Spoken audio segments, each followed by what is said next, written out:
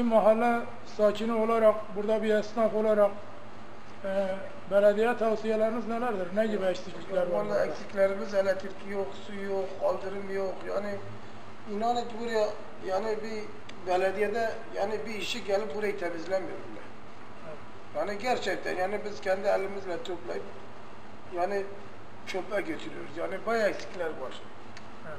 Yani biz rica ediyoruz yani inanın günde iki üç sefer su gidiyor. Elektrik yok. Temizlik yok. Bir şey hiç yok. Yani biz yani yol yapımı ondan sonra dolmuş hatları buraya gelmiyor. Bayağı Mesela hangi, ben 72'nin geldiğini gördüm de e, hangi hatları istiyorsunuz mesela? 74. Evet. Yani oranın gel, onu gelmesini biz istiyoruz. Evet. Yani biz belediyeden rica ediyoruz. Evet. Peki teşekkür ederim. Allah razı olsun. Sakinleri olarak e, ne gibi sıkıntılar çekiyorsunuz?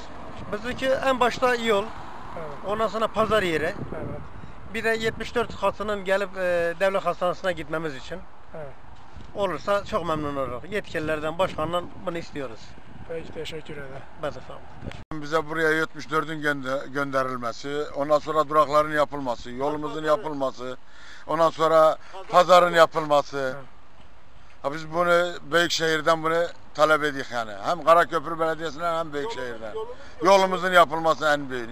En büyük sıkıntı yolumuzun yapılması. Peki burası Haliliye Belediyesi'ne mi ait yoksa Karaköy? Hayır Karaköprü Belediyesi'ne bağlı. Evet, Ya bize elektriklerimiz gidiyor geri devamlı. Evet, O da zaten tekin sorunudur. Belediyenin sorunu değil yani o. evet. Sularımız çok gidiyor. Hmm. Ha buna biraz yem verseler çok iyi olur. Memnun olur.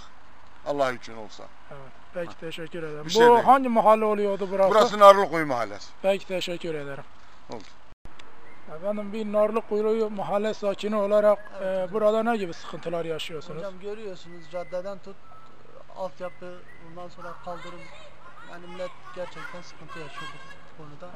Özellikle yani ulaşım yönünde 74'ün bu civara kadar hatta bu son durağa kadar buranın önüne kadar bile gelse iyi olur. Çünkü millet iki hastaneye gidebilmek için, okula gidebilmek, gidebilmek için iki hat değiştirmek zorunda kalıyor. Bu da hem madde yönünden hem de yani manevi yönden gerçekten ciddi bir sıkıntı. Hani bu sıkıntıları belediyenin özellikle Karaköprü Belediyesi'nin Evet. bu konuda bir yani erken daha daha doğrusu e, şöyle diyelim yani mümkün mertebe en kısa zamanda bu altyapının yapılması çünkü gerçekten buraya yağmur yağdığı zaman buralar doluyor. Gölet haline Evet. geliyor yani.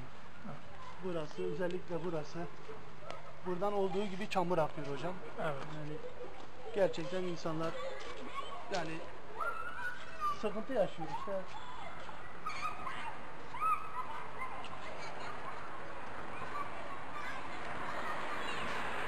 Yani hatta 72'nin de sadece son durağı aşağıda olmaması 72'nin sabah mesela biz gittiğimiz zaman 4-5 tane araba orada bekliyor. Ee, o 4-5 tane bekleyen arabanın bir iki tanesi en azından bu mahallelerde. Yani buraya kadar ve ne bileyim yukarıya kadar gitse yani millet için çok iyi olacağını düşünüyorum. Bu konuda da belediyenin yani duyarlı olmasını istiyorum. Peki bu yukarıda bir yeni yol yapım çalışmaları var her- herhalde. Dağ eteği midir? Nedir bu yukarıda? Bu, evet bu dağın yamacında mı? Burası Karaköprü Belediyesi'ne mi ait yoksa Haliliye Belediyesi'ne mi? Yok Karaköprü Belediyesi'ne Evet. ait. Evet. Çünkü niye diyecek olursanız karşıda gör, görüyorsunuz hocam burada bir e, şey yapılıyor. Evet. Ee, geçenlerde Karaköprü'de ben gördüm de. Evet. Ee, belediye yardımcısı mıydı? Gelip hani çalışmaları yerinde görmek için denetime gelmişti herhalde. Yani ondan dolayı ben diyorum Karaköprü'ye ait. Peki teşekkür ederim. Ben teşekkür ederim hocam.